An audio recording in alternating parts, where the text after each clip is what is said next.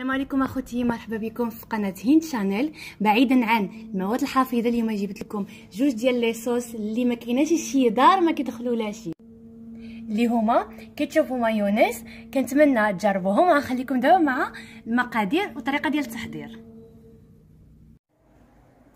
أول صوص عندنا هي مايونيز. غنحتاجو ليها الزيت كاس ديال الزيت كاس ديال الحليب جوج فروماجات شوية الملح وشوية د الابزار وغنحتاجو ثلاثة معالق ديال الخل. كتبقى على حسب كيفاش بغيتو المايونيز ديالكم. تجي ثقيله ولا خفيفة. بالنسبة للعبار ديال الكاس أي كاس عندكم. يعني إلا عملتي كاس العنبة ديال الحليب هو نيتو كتعمرو بالزيت. ودابا غننتقلوا للمولينكس غنخويو الحليب في المولينكس. الزيت. ملح والابزار والفخوماج ديالنا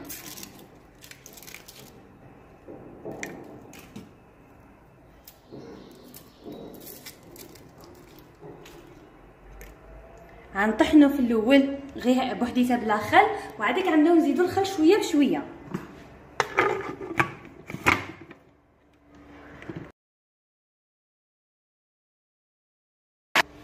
هانتوما بحال اللي كتشوفوا هما المقادير ديالنا. خلطناهم. دابا غنزيدو الخل. بالنسبة للخل أنا بحال اللي قلت لكم غنزيدو شوية بشوية على حسب التكستور اللي نتوما خصكم غنعملو ثلاثة ديال المغارب.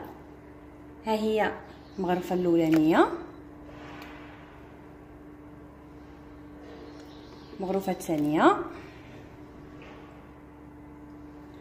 وغنزيدو الثالثة. هاد المايونيز كتجي بحال المايونيز ديال المطاعم. إن شاء الله إلا جربتوها. بنفس المكونات اللي أنا قلت لكم ما تزيدوا ما تنقصوا. كتصدق زعما أكثر من رائعة. دابا غنشد عليه وغنخلطو. وكذلك نرجع نرجع لكم بالريزولطه الأخرانية. وها نتوما كيف ما كتشوفوا ها هي المايونيز ديالنا. غير نوريكم بالمغرفة كيفاش كتجي التكستور ديالها شو. غزالة كتحمق. وحنا انتهينا ودابا غندوزو la sauce الثانية وبالنسبة la sauce ديالنا الثانية غتكون عبارة عن كيتشوب. عندي هنايا ثلاثة حتى أربعة ديال مطيشات. عندي نص مغروفه ديال الملح نص مغروفه ديال التوم en poudre إلا ما عندكمش التوم en poudre كتخدموا فص التوم عندي هنايا نص مغروفه ديال الفلفله حمراء جوج مغارف ديال الخل جوج مغارف ديال النشا جوج مغارف ديال السكر. ودابا نبداو على بركة الله. أول حاجة غنعملها هي أنني غنقطع مطيشة غنقطع مطيشة ديالي على أربعة. ها أنا قطعت مطيشة ديالي طروفه صغارين زدت عليهم نص مغروفه ديال الثوم نص مغروفه ديال الملح وغنخليها طيب.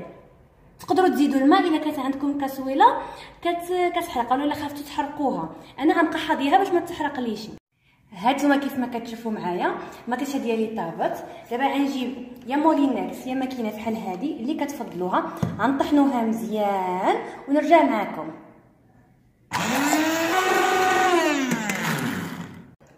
بحال اللي كتشوفوا معايا ها أنا طحنتها مزيان. دابا غنجيب صفاي وغنصفيها. غنصفيها مزيان. وديك ساعتك نوريكم شنو غنزيدو عليها. بالنسبة لهاد الطريقة اللي كنعملها مطيشة فوقاش ما تكون عندكم مطيشة زايدة اولا تكون مثلا قربت يعني كتشوفوها طايبة بزاف ولا تكون ثمن ثمن رخيص بحال حاليا كتباع غير بشي 3 دراهم. كتجيبوا quantité بزاف كتعملوا la même chose نفس الشيء اللي أنا عملتها اللي أنا عملت وكتحتفظوا بها في المجمد. من بعد ما صفينا مطيشة ديالنا غنزيدوا عليها المقادير اللي بقاو لنا غنزيدوا عليها الفلفله حمراء السكر والخل. غنخليوهم يغليو مع بعضياتهم مزيان. وغنتقلوا للنشا على بعد من ماماتيشا ديالنا تخلط مع ديك المقادير اللي حطيناهم. غنشبروا النشا غنحطوه في زليفة بحال هيدا. وغنزيدو عليه الماء. وغنخلطو.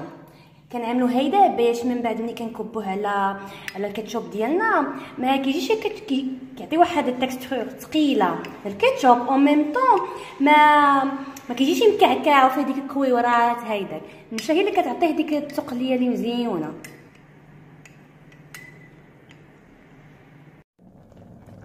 بحال اللي كتشوفوا معايا من بعد ما خلطت القوام ديالها شوفوا كيفاش كيرجع. كترجع ثقيلة. شتوها الحلاوه دابا ما خصكمش تعكزوا على كيتشوب ما كتشوفوا معايا ها هما لي صوص ديالنا وجدوا كنتمنى تجربوهم وتردوا عليا